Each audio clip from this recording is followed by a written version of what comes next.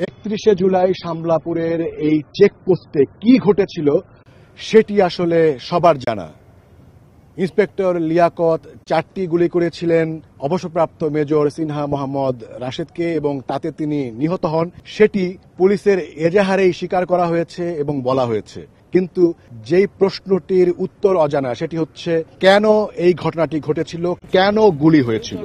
সেই প্রশ্নের উত্তর খুঁজতেই সেদিন সেই রাতে শুধুমাত্র দুই মিনিটে আসলে কি হয়েছিল সেটির ব্যবচ্ছেদ করতে। দুই মিনিট সময় জুড়ে যেই ঘটনাগুলো হয়েছে সেগুলোকে আবারও পুনরায় সেগুলো আসলে করে দেখাবেন। তিন যেই আসামি, তারা এখানে যেই জায়গাতে চেকপোস্টের লোকজন ছিলেন, সেখানে তারা থাকবেন এবং প্রত্যক্ষদর্শী যারা যেখানে অবস্থান করছে, সেখানে তারা থেকে দুই মিনিটে পুরো ঘটনার একটি ধারণা নেওয়ার চেষ্টা করবেন তদন্ত কর্মকর্তা। এক দুই মিনিটের মধ্যে একটা ফায়ারিং পর্যন্ত চলে যাওয়ার ঘটনাকে কোন পরিপ্রেক্ষিতে যেতে পারে? সেই জন্য প্রত্যেকটা পয়েন্ট চেকপোস্টের প্রত্যেকটা ব্যারিকেড থেকে ব্যারিকেডের দূরত্ব প্রত্যক্ষদর্শীদের সাথে দূরত্ব সবকিছু সে সরজমিনে মাপবে। তারপরে আয়োর একটা কনসেপ্ট ডেভেলপ করবে। এখানে পুরো ঘটনাটা এক দুই মিনিটের মধ্যেই ঘটেছে।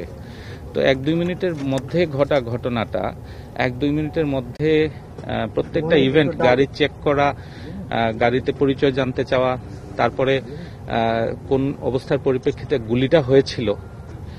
এই এক দুই মিনিটের ঘটনাকে বের করতে হলে প্রত্যেকটা সেকেন্ডকে আমরা বিশ্লেষণ করতে হবে। র্যাবের অতিরিক্ত মহাপরিচালক কর্নেল তোফায়েল বলেছেন যে তারা আসলে প্রকৃত চিত্রটি জানতে চান এই ঘটনাকে তারা বিকৃত করতে চান না। তারা প্রকৃত ছবিটি তুলে এনে এই ঘটনার আসলে কে দায়ী সেটি তারা বের করতে চান। সংক্ষিপ্ত সময়ের মধ্যে কি এমন ঘটেছিল যে ওই সিনহা গুলিবিদ্ধ হয়েছিল কিংবা যদি লিয়াকত যেটা বলছে যে পিস্তল তাক করে ফেলেছিল এই এক মিনিট তিরিশ সেকেন্ডের মধ্যে কি এমন হয়েছিল যে পিস্তল তাক করার মতো পরিস্থিতি কি আসলেই হয়েছিল কিনা?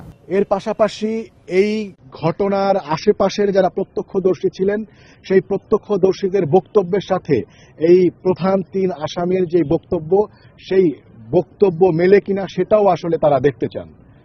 শামলাপুর থেকে ওমর ফারুক, সময় সংবাদ।